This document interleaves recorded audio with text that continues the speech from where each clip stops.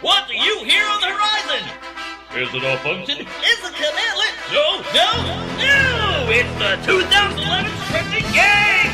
That's right. The 2011 scripting game, pulling together competitors worldwide, Yu-Gi-Oh! Valley Church, caffeinated and non-caffeinated, and more importantly, you! That's right, you! Yes, you hiding back from that PowerShell console. The 2011 scripting games are calling you! Test The reaper. Seize the day.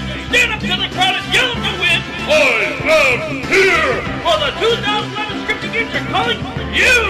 Bring your game face and come forth on April the 4th, 2011. That was April 15th, 2011 for the 2011